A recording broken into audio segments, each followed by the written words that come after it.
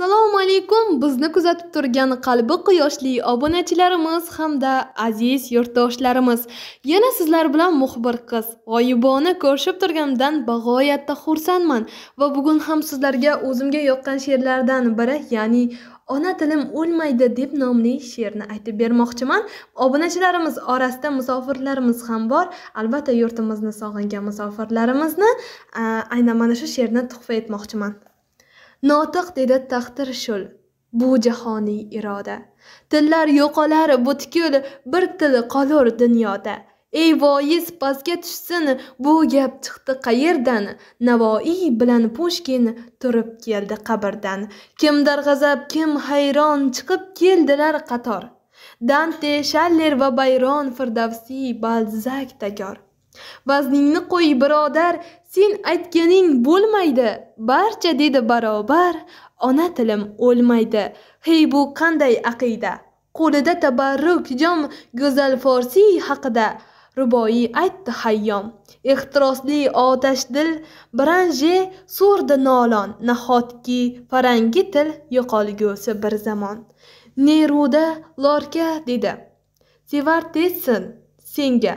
Kim qayd etdi tig' urdi ona tili joniga. Fuzuliy dedi ozor, tili guldek so'lmaydi. Barcha dedi barobar, ona tilim o'lmaydi. Kamalakdek rangorang bo'lsin deb san'at tillar asrlar qildik jang. Armon qildik ming yillar. Bekrado bo'lsa nahot dillardagi tarovat yo'qoldi bu kun hayhot qabrlarda halovat. Fus yondi gurullar hamsa o'tdi tashlandi. Bir sado jahon bo'lur, taraldi tog'lar oshdi. Bu sado yangrar hamon sira ado bo'lmaydi.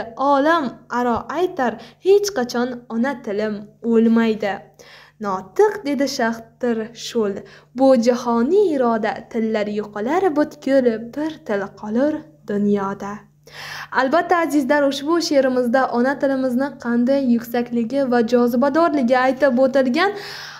Ona tilimiz bizni doimo kimligimizdan dalolat beradi. O'zbek tilimizga erishish uchun ajdodlarimiz kam harakat qilishmadi axir. Chunki tinchlikni um, qadriga yetish ham barchaga ham emas.